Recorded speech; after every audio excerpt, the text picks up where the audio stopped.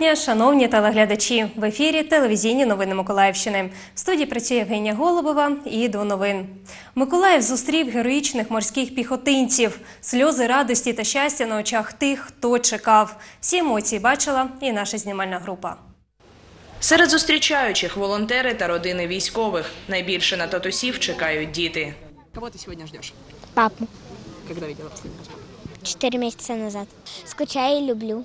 Я папу себя никогда, никуда не отпущу. Мы ждем с мамой папу. Я люблю папу. Дві години очікування біля пропускного пункту частини. Радісний виклик заходять. До Миколаєва повертається 36-та окрема бригада морської піхоти. Деякі її підрозділи пробули в районі проведення антитерористичної операції близько двох років. Сьогодні вони вдома. Підрозділи бригади тримали ділянку фронту на приморському напрямку. Вели бойові дії в районах населених пунктів Широкіне, Водяне, Телаківка, Гнутове, Павлопіль, Чермалик, Лебединське. Виконували завдання за призначенням не допускати прориву противника за напрямком Новоазовськ-Маріуполь. Важкі криваві бої бригада вела навесні цього року, коли противник намагався скинути її підрозділи зайнятих рубежів. Утім, морпіхи встояли, нанісши ворогу відчутних втрат.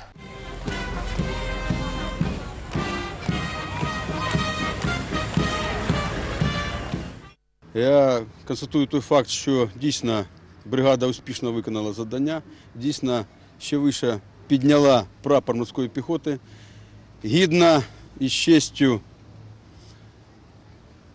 тримала, як кажуть, дух морської піхоти на висоті. Підрозділи 36-ї окремої бригади морської піхоти виконали всі завдання, які визначили Генеральний штаб і командування військово-морських сил. На відмінно ніяких проблемних питань до бригади немає. Анатолій Стаднік, 23-річний розвідник-далекомірник командо-штабної машини. На фронті з березня 2015-го. Був мобілізований, а потім залишився служити на контракті. На війні зустрів своє кохання. Після контракту думаю ще раз підписати слідуючий. Хоч і небезпечно, зато добре. Зато я знаю, що в мене вдома всі спокійно можуть спати ночі.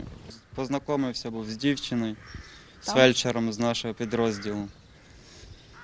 Ну, Так якось слало, що думаємо скоро одружитись. Прибувши до постійного місця дислокації, морські піхотинці збираються на плацу. Командири доповідають про наявність. Урочисто вносять прапор. На превеликий жаль не обійшлось без бойових втрат. Бригада втратила 17 героїв. За проявлену витримку та мужність в районі проведення антитерористичної операції понад 250 військовослужбовців бригади відзначені державними нагородами.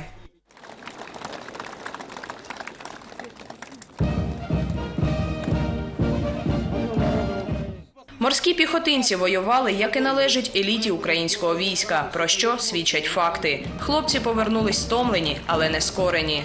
Валентина Гурова, Артем Белібов, телевізійні новини Миколаївщини. І до подій на сході України. Ситуація в районі проведення антитерористичної операції залишається напруженою.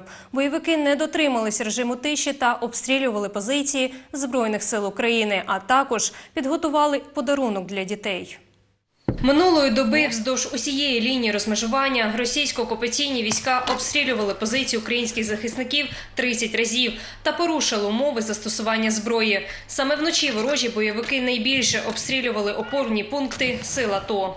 Найчастіше загарбники вели вогонь на Приморському напрямку та на Луганщині. Двічі вони били із мінометів, використання яких суворо заборонене мінськими угодами. На щастя, внаслідок цих обстрілів жоден український воїн вчора не постраждав. Так найбільше порушень зафіксовано на Приазов'ї. Вже ввечері під ворожі обстріли там потрапили опорні пункти села ТО, які розташовані в районі Широкіного, Водяного, Чермелика і Талаківки. Також вночі російсько-окупаційні війська вгатили поблизу літнього дитячого табору, що під Волновахою. Одна з мін розірвалася на кілька метрів від території табору. Декілька будівель зазнали незначних пошкоджень. На щастя, перша табірна зміна ще не встигла розпочатись. Начался обстрел и продолжался 20 минут. Пострадал, пострадали корпуса, выбило стекла. Ну, все обошлось благополучно. спим. Начинает так вот, как вроде э, бух, а потом свист какой-то и взрыв. и такое все дрожит. И здание дрожит, и стекла. На той стороне стекло вообще разлетелось. Євгенія Голубова, телевізійні новини Миколаївщини. Співробітники Служби безпеки України спільно з військовою прокуратурою затримали на хабарі начальника одного з відділів головного управління Державної фіскальної служби у Миколаївській області. Правоохоронці встановили, що зловмисник вимагав від місцевого підприємця 2 тисячі доларів США за невжиття заходів реагування стосовно виявлених податкових порушень. Оперативники спецслужби затримали начальника відділу в центрі Миколаєва під час отримання всієї суми хабара. Відкрите кримінальне провадження за частиною 3 статті 368 Кримінального кодексу України. Тривають невідкладні слідчі дії. Поповнення в автопарку миколаївських правоохоронців. Сьогодні групам швидкого реагування з районів урочисто вручили ключі від новеньких японських позашляховиків. До офіційного вручення ключів залишається ще півгодини, а водій поліцейський з Врадівського райвідділку вже оглядає машину. Андрій Царан має 20 років стажу за кермом. Розповідає, останнім часом їздив на стареньких автівках. Сьогодні вперше сідає у такий комфортний позашляховик. предусмотрений для сільської місності, для поганих доріг, е, для е, переїзду, де є якісь перешкоди на дорозі, тобто, ну, не великі там, звісно, можна проїхати. 18 автомобілів Mitsubishi Outlander перерозподілені по всіх районах Миколаївщини. Правоохоронці, які працюють у сільській місцевості, вже оцінили переваги японського авто. Ці машини для районів означають, що реформа триває, вона торкається кожного з нас, що всі поліцейські, які виконують сумлінно свої е, функціональні обов'язки в райвідділках, отримали найсучасніші автомобілі. Сучасні автомобілі Mitsubishi Outlander, які отримала Миколаївщина, працюють на бензині та електриці. Додатково укомплектовані раціями, відеорегістраторами і системою підзарядки акумуляторів. Хочу подякувати всім, хто приймав участь, тому що ви всі знаєте про розподіл, який все ж таки відбувся. Е, Скільки машин отримала Херсонська область, скільки отримала е, Одеська область, інші області. Наша область отримала 18 машин. Це е, дуже завелика сума по е, нашому регіону. Ключі від новеньких автівок вручили начальникам районних відділів. За деякий час машини працюватимуть за призначенням. Якщо ви запитаєте мене, чи робить поліція все для того, щоб забезпечувати спокій і безпеку громадян, я відповім, ми хочемо робити більше. Ми хочемо передбачати і попереджувати ті загрози, які існують. Сьогодні ми передаємо ці автомобілі, сучасні автомобілі, виключно підрозділам швидкого реагування. Миколаївщина стала другою областю після Херсонщини, які отримали нові службові позашляховики для національної поліції. Наталя Приходько, Артем Кліменко, телевізійні новини Миколаївщини. На Миколаївщині громадські активісти розпочали підготовку до пляжного сезону. Найбайдужі городяни за допомогою металодетекторів обстежують нори рекреаційних зон області та виявляють небезпечні предмети. Які несподівані знахідки трапляються, бачили наші кореспонденти. Хтось на пляжах щось губить, а хтось знаходить. І як свідчить практика, знахідки найрізноманітніші. Для Андрія Голополосова покопати на пляжі та у воді це не тільки хобі, а ще й можливість підзаробити і водночас зробити свій внесок в екологічний стан водойм. Почему-то вот пробки попадают не в мусорный м, бак, там не в мусорное ведро, а в воду, в песок. Где сидели, там и оставили все это дело. Там же фольга от сигаретных пачек и так далее, которая тоже накладывает свой отпечаток. Для обстеження піску та дна використовується спеціальне обладнання.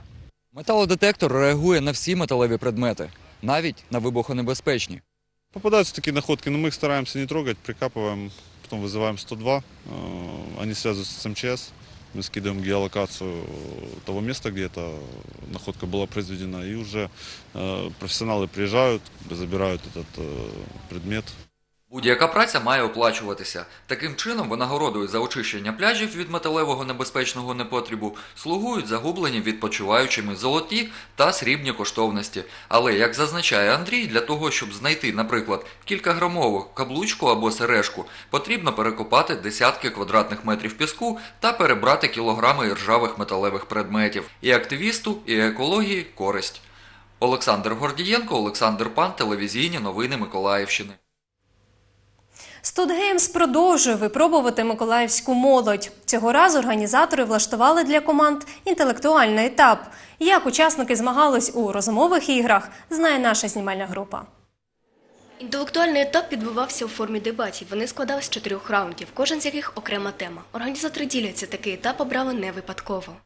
Раскрыть определенные таланты к ораторскому искусству и, орат- и в общем э, к интеллектуальному этапу, возможно, каких-то определенных студентов, э, выявить потенциального победителя, посмотреть, как ребята рассуждают э, и максимально продемонстрировать всему городу, что это юные ребята, которые являются будущим нашего города и способны это доказывать в дебатах.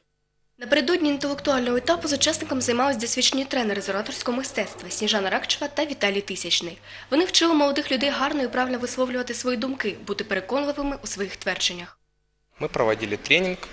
Тренинг э, заключался в, скажем так, объяснении, в э, подготовке ребят к данным сегодняшним дебатам. Мы вместе со своей коллегой проводили, скажем так, мастер-класс публичных выступлений, подготовки к данному типу дебатов, к оксфордской модели.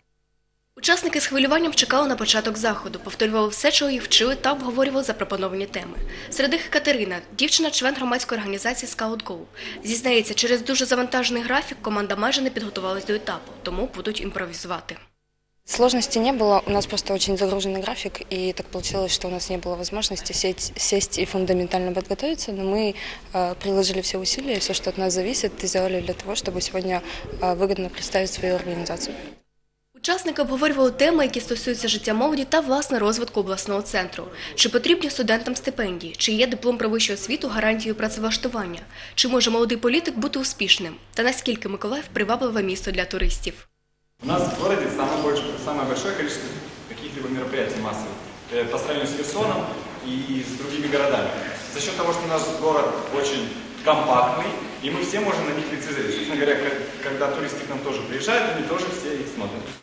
Як результат, після оцінювання перемогу отримала команда Go, набравши максимальні 10 балів. Світлана Кльосова, Артем Клименко, телевізійні новини Миколаївщини. І поки що це все. Повна картина дня о 19, тож не пропустіть. Новин буде набагато більше.